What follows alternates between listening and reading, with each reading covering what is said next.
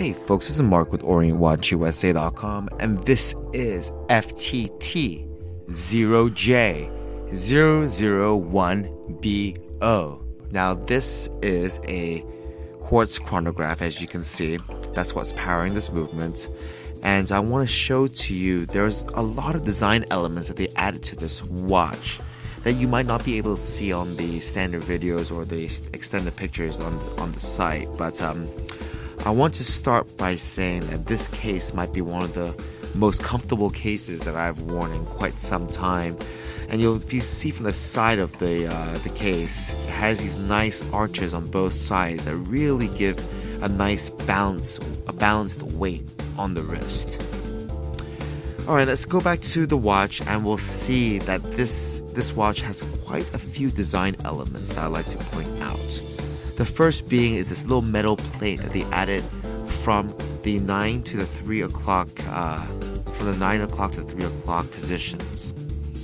Now, another thing to note is that the subdials that they use, uh, particularly the one on the around the 12 o'clock position, along with the one around the 6, 6 o'clock position, use a very nice racing font, which really adds to the sport uh, design. Now, this watch also has a tachometer, as you can see from the inner bezel of the watch. Now, a tachometer allows you to judge your average speed on a set distance. Now, um, this watch is powered by analog quartz movement caliber KFB00, which means it's a chronograph that measures 120th of a second.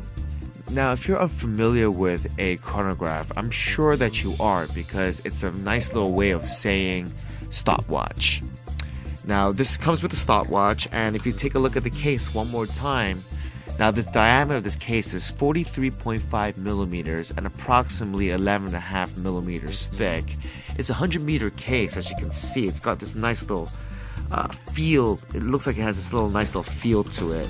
It's got these nice little edges, as you can see from the top part of the case, that links over to the band, and that same idea was continued all throughout the band. As you can expect from a sport watch, it has a safety along with a two button folding clasp, alright? Now it's got a very nice little weight and a solid feel to it. Alright, folks, so this is Mark with OrientWatchUSA.com with FTT 0J001B0. Hope to see you wearing one soon.